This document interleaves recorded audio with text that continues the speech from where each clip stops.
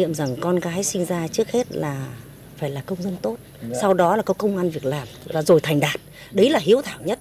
Bởi vì đứa con chính là niềm hạnh phúc, đứa cháu niềm hạnh phúc của của ta. Đứa con, đứa cháu chính là gì ạ? Là một cái phần th- thân thể, một phần tinh anh, một phần thể xác, một phần tâm hồn được lưu giữ trên cõi đời này. Cho nên khi chúng tôi có chết đi rồi, chúng tôi vẫn thấy hạnh phúc, vẫn thấy là con cái mình nó hiếu thảo. Nếu mà chúng sống tốt, chúng thành đạt, chúng luôn luôn sống với nhau êm thấm thuận hòa. Đấy là mong mong mỏi của các bậc làm cha làm mẹ.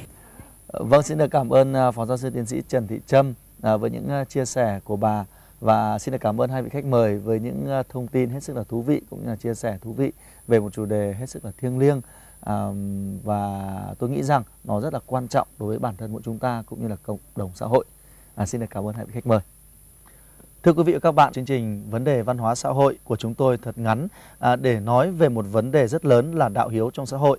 À, do vậy chúng tôi chỉ xin coi đây là một cuộc mạn đàm và chỉ đề cập đến một à, khía cạnh nhỏ à, của chữ hiếu. À, nhưng những ý kiến chia sẻ à, của các vị khách mời đã nói lên rất nhiều à, ý nghĩa xung quanh chủ đề này. À, một mùa xuân mới đang đến với dân tộc Việt Nam.